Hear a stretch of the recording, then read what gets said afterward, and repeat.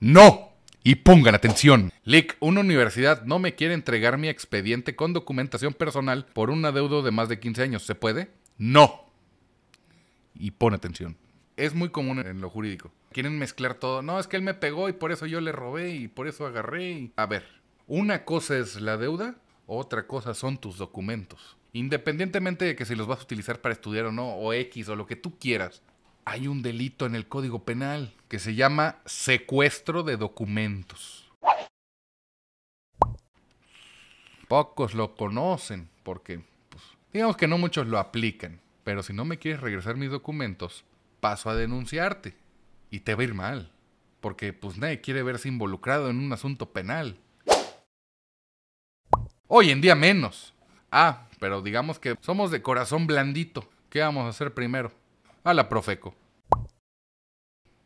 ¿Sí? A ver, yo le digo aprender a vender la chinga. Primero le dices, a ver, eh, necesito que me regresen mis documentos y quiero hablar con el superior. ¿Quién es el encargado de aquí, de esta área, de este departamento? Porque me voy a poner serio. Y necesito hablar con un superior porque va a haber, va a haber un problema choncho aquí. Entonces le explicas, oye, fíjate, eh, mis documentos desde hace 15 años no me los quieres dar, güey. Y necesito que me los den ya. Y me dan largas y me dan esto y. Yo no sé, yo lo único que sé es que si tú tienes documentos personales y yo tengo una acuse, prueba de que te los di, y no me los das,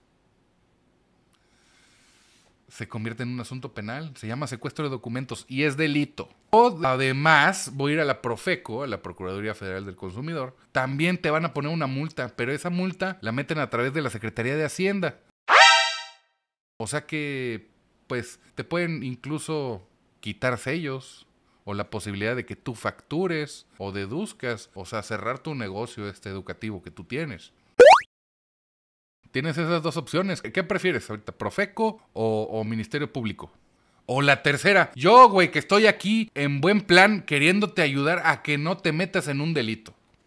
Ya les diste las opciones. Tres opciones les diste. No sé si no soy claro. Quiero mis documentos. ¿El adeudo? ¿Quieres? Te lo pago en tanto, te lo pago así, así, así. Como quieras, lo podemos acordar. Podemos hacer una reestructuración de esa deuda. Pero entiéndelo. Una cosa es la deuda y una cosa es, son mis documentos. ¿Quieres que te pague? Ah, no, no me vas a dar mis documentos. Ve al asunto mercantil. Ve, demándame para que te pague. Y si puedes, me embargas. Pero ese es un asunto. Mis documentos son otro. No.